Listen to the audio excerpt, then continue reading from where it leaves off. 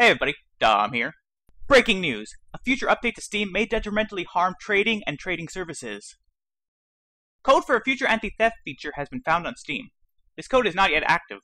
The code refers to a new feature called Escrow. The way the feature works is, in a trade on Steam, if either party doesn't have their Steam account linked to a smartphone, if they don't have Steam Guard Mobile Authenticator, rather than trading regularly, items are placed into a sort of limbo.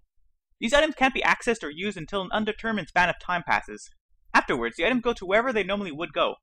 The point of escrow is to allow either party to have days to stop a trade in case their account has been compromised.